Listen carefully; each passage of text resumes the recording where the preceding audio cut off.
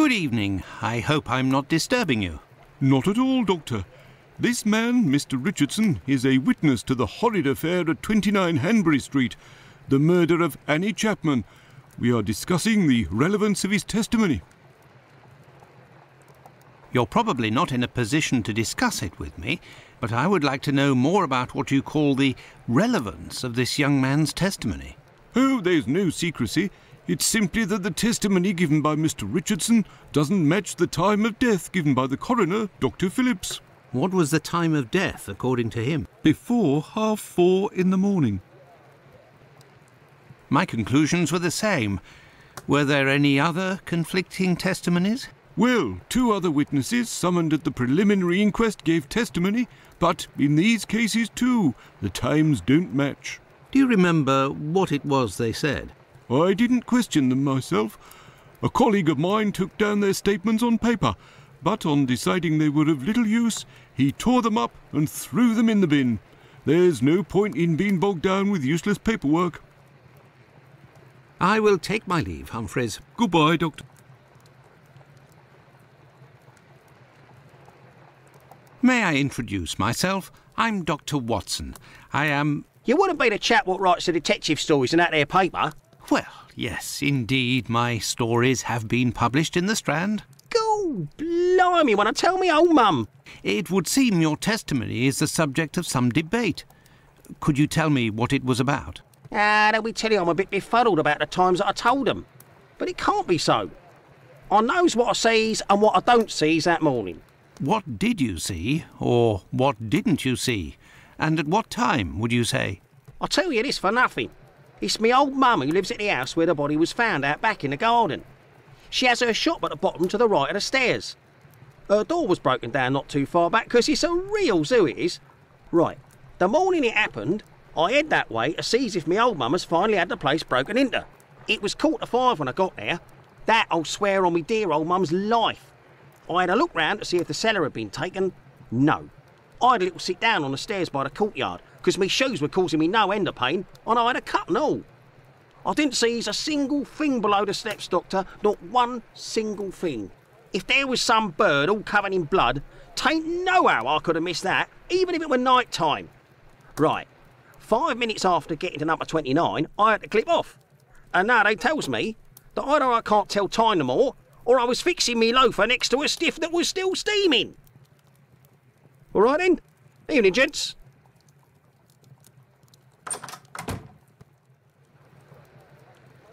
Yes, Doctor? So, how far along are the investigations into these two recent murders? Everyone around here believes both crimes were committed by the same man. But as for the Hanbury Street and Bucks Row crimes, nobody has heard or seen a thing. By the way, have you heard of a Dr. Tumblety? Um, no. Is it important? Yes. Well, no, maybe. Actually, I don't know. I have heard about this man, his frequent nocturnal outings, and bizarre behaviour. What does this chap look like, Doctor? And where can we find him? The last I heard was that he was staying at Finley's place, the man who was looking for me a few days ago. It would greatly assist us if you could ask Finley what your strange associate looks like. We could then see if the description matches any witness accounts. I will take my leave, Humphreys. Goodbye, Doctor.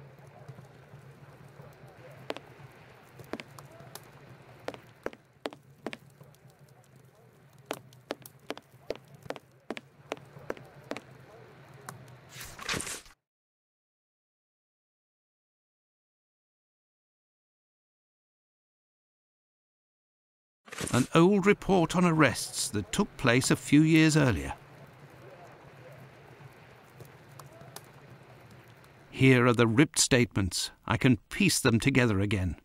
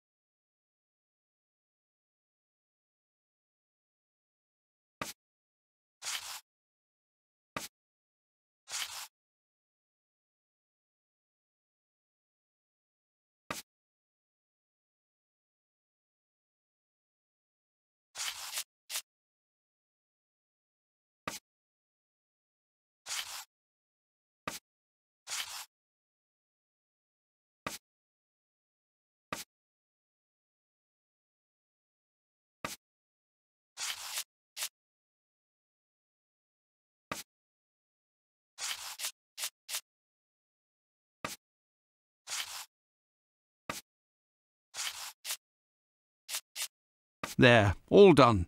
Holmes couldn't have done better himself.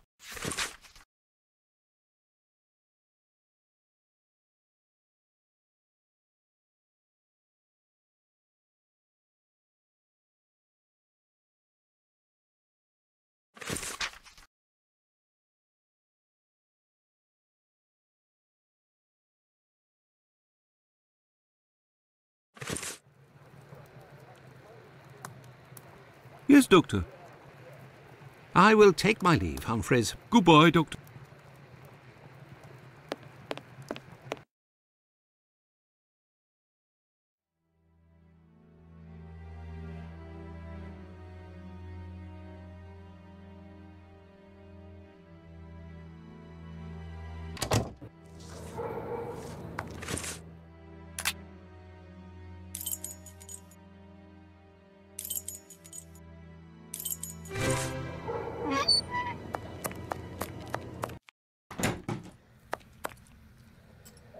Good evening, Dr. Gibbons. Dr. Watson, Did you keep the cane we spoke of last time? I was going to sell it tomorrow, would you believe, having not heard word.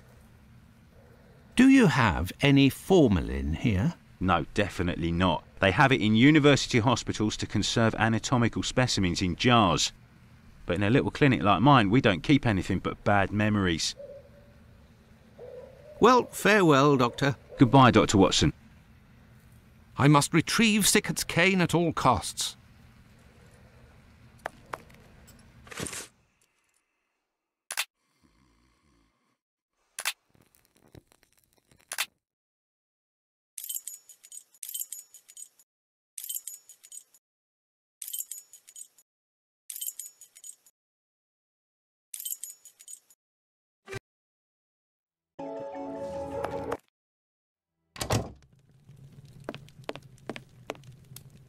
Good evening, Mr. Solomonovich. Good evening, Doctor. What a pleasure to see you again.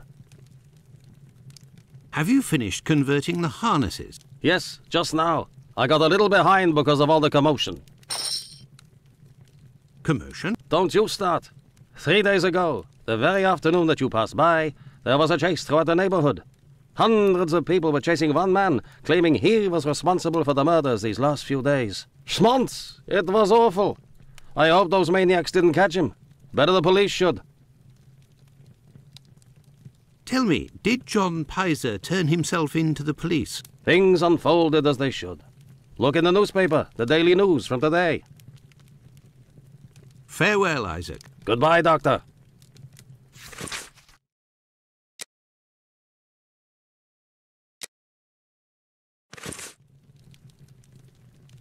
What can I do for you, Doctor? Farewell, Isaac. Goodbye, Doctor.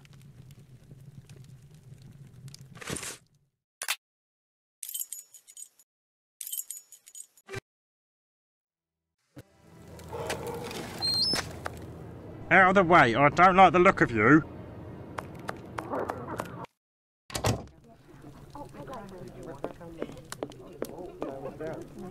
Good evening, ma'am. Um, your door was open. Isn't that a little dangerous? Hello, Doctor. Don't worry, if the looks of anyone who enters doesn't please me, me and my pistol know how to convince them to leave. Do you happen to know Annie Chapman, the poor woman who was killed three days ago? Dark Annie? Like all the drifters in the area, I've seen her once or twice. With respect to the dead, Annie really was the bottom of the barrel. What do you mean? Well, in our profession, the pretty young ones go out when night has barely fallen and don't have a problem finding takers. But poor girls like Annie or Polly Nichols, who aren't as tender and are often sick, sometimes trudge around for a whole night in the cold and the rain before landing a client. And that doesn't help their appearances either.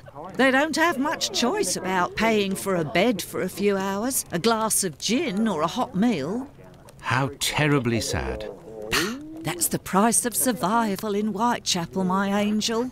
One of my girls knew Annie for some time. They bought some jewellery on the black market, I think. Jewellery? How could Annie Chapman have possibly afforded jewellery? Luxuries for a woman are always relative to her condition, Doctor. As a matter of fact, it was real cheap junk. Annie got three assorted brass rings, I think. it's been said I have a memory for jewellery. How is Lucy keeping? She's doing well, Doctor, but believe me, it won't last. Rare are the girls who can build a future in our profession. Very well, I shall let you get back to work, Ma. See you soon, my love. Best not to stray off in that direction.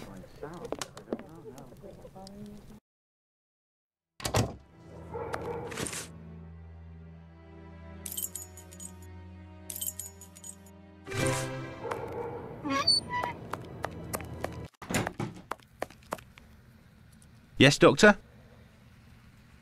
Well, farewell, Doctor. Goodbye, Dr. Watson. I must retrieve Sickert's cane at all costs.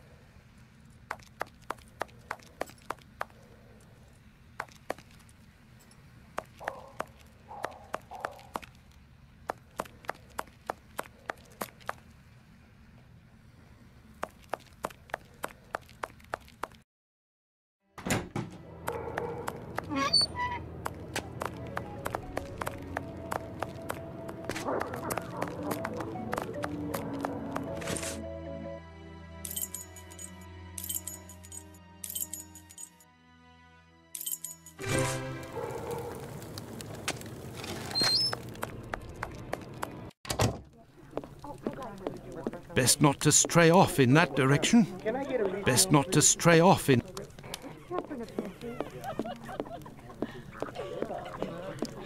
These paintings are suggestive, at the very least.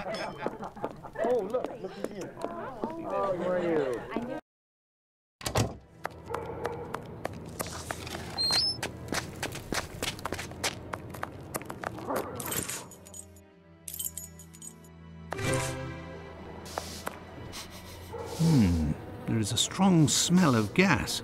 It seems to be coming from the abandoned building. Good evening, Finlay. How are you? Oh, good evening, Doctor. So so. And you?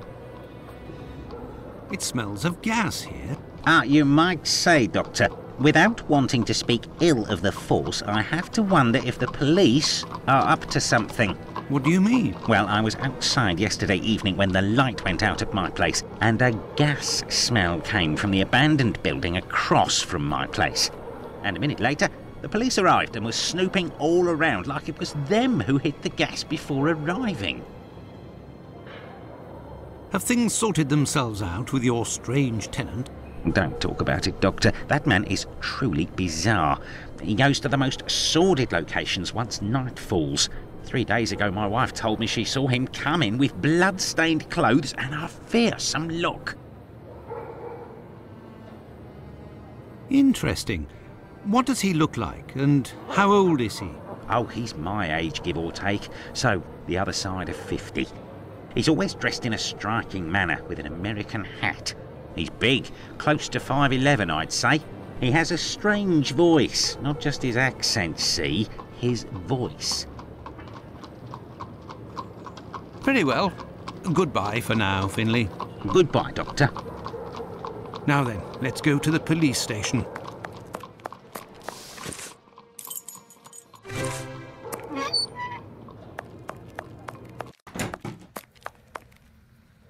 Yes, Doctor? Here are your harnesses, Doctor. They are top quality, I'd say. Definitely worth the price of this walking stick. Here, it's yours. Well, farewell, Doctor. Goodbye, Dr. Watson. I must go to Miss Bella's.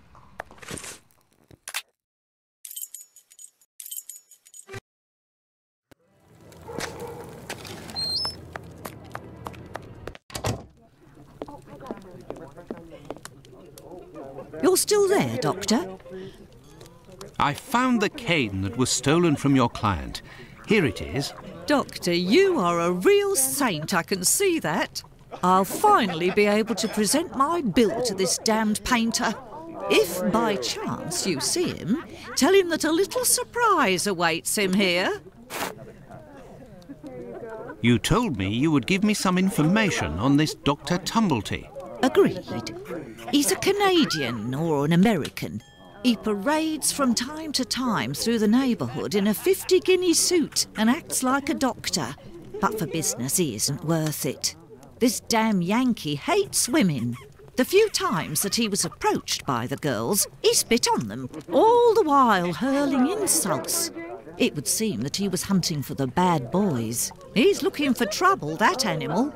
Does he frequent any pub in particular? Aye, the Wasp's Nest on Berner Street, I think. A seedy spot, even by our standards.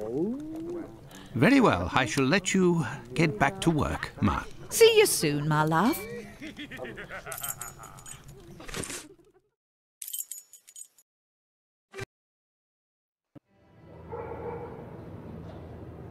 The Wasp's Nest. This pub looks even more disreputable than the Golden Lion in Baker Street.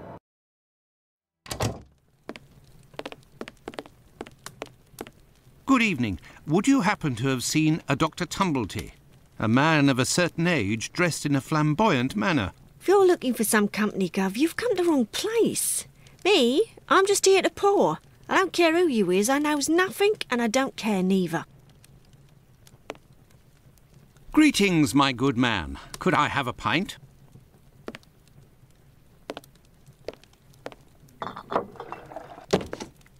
Here, Gov. I've been told that Dr. Tumblety might be found around here. Is that so? I don't do a roll call of all the drunkards here. I've got my hands full just making sure I get their money. Don't people pay when they order? Nah, look at that little scribbler there. Completely dead drunk. Tonight's tally is about as long as his arm. If he skips out, I'll be in for a guinea almost. Goodbye, my friend. Oi, that's it. Good evening, sir.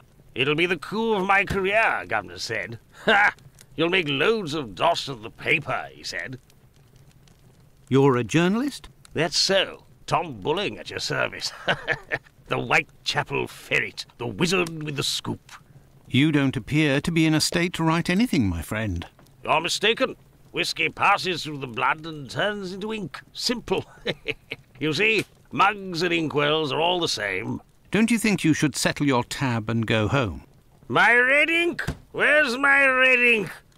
I won't even pay half a halfpenny if they don't return my red ink. It's my blood you hear. Very well, I'll be on my way. Good evening, sir. Well, I know you. Why, we met at Miss Poolman's the other day. So you've come to slum it in Whitechapel, eh? Do you know Dr. Tumblety, a Canadian or American chap, quite an extravagant dresser, frequents this pub now and then? Are you intimate? Um, no. What do you mean by that? Oh, nothing, nothing at all. I just wanted to prove my discretion concerning this man, in so much and so far as I know him. You wouldn't like it if one day the tables were turned and everyone was talking about why you were in the borough. Isn't that so? As it happens, I saw Miss Pullman recently. She told me that she couldn't wait to see you again. She said something about a surprise that is waiting for you at her establishment. Why, that is some of the best news I've heard, my friend. As thanks, I would like to let you in on a secret. The man that you were talking about, and whom I happen to know by sight, passed by and went through that little door that you see over there. Another man let him in. They weren't together for more than a few minutes, to be sure, eh? Well, I will continue my search. Ah, love. But what is this person trying to imply? This matter is beyond me. This is the sink where the barmaid puts the glasses to soak. Look, red ink. What's that doing here? The bottle is closed. There must still be some ink inside, and it looks like a glass. The barmaid must have put ink into the sink by mistake. Right. Do I get in your way? Me? If you'll excuse me, sir. You're the best. The boss told me. My red ink. Where. Where's she be? I found your red ink, my friend. You should settle up and head home. Thank you, my friend. Thank you. The spring heeled phantom will be revived.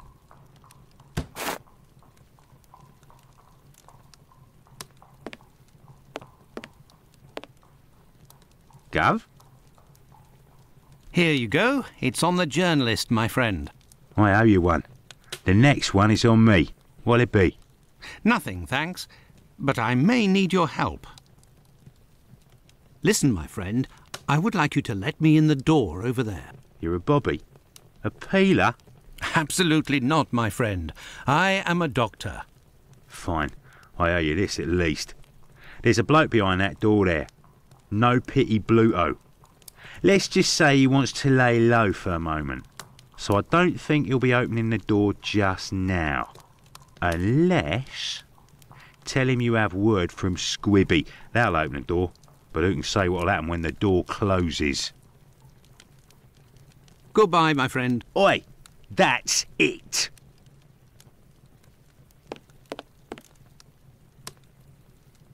Let me in. I I have news from Squibby. But stay calm.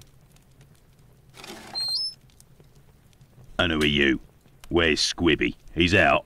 To be honest, I don't actually know this Squibby chap. I was actually wondering if you knew Dr. Tumblety, a Canadian or American fellow. He came in. Sure we know him. Excellent. Can you. You know about gas? I'm afraid not. I am a doctor. Then I ain't interested. You can be leaving now. But if I find out who snitched to the peelers, I'll find you. Got it? But I can pay you for. Keep your coins for the paupers, or one of the gas boys who ain't afraid of nothing and knows how to hold his tongue. You bring him to me. I'll meet with you.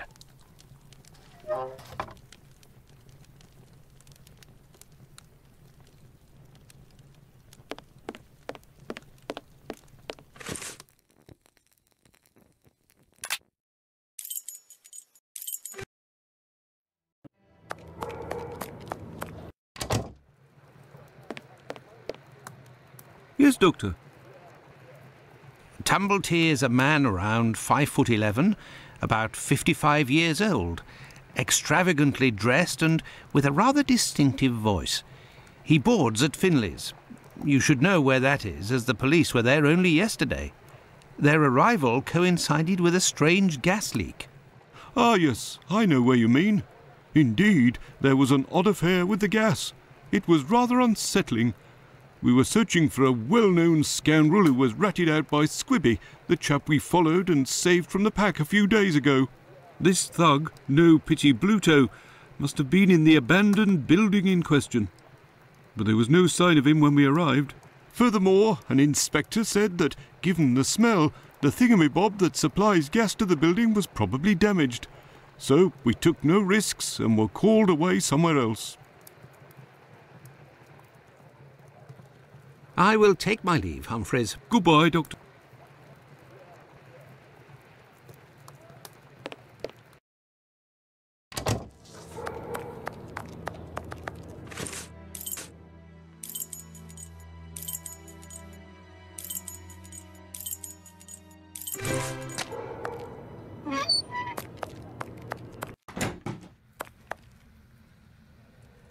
Yes, Doctor?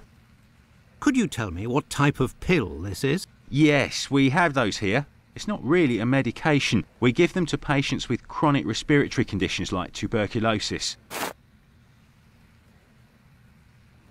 Did you have a patient by the name of Annie Chapman, the woman killed three days ago? Indeed, she came in the morning of her death. Poor woman. Did you give her these pills? Yes, now that I think of it. She actually came in twice. The first time I gave her an almost empty container without making her pay. She came back during the day and said she dropped the container and stepped on the pills. She wanted to know if I could give her more again without paying. I refused. After she left, a patient who was there told me that he lives at the same place and confided that she had been lying. He saw the pills fall in the tenement's communal kitchen, but the woman immediately wrapped them up in a piece of paper. Where did this paper come from? According to this man, she'd found it near the chimney in the kitchen. Anyone could have thrown that paper there. That envelope can't have anything to do with the murder. Pardon, Doctor? Uh, nothing. I was just talking to myself. Well, farewell, Doctor. Goodbye, Dr. Watson. Well, it would seem that I have all the information I need for my investigation. Anyway, this fellow Bluto at the Wasp's Nest is rather shady and doesn't look like he'll want to cooperate. I'd be better off returning to Baker Street. Holmes will certainly know what to do. And besides, I am worn out.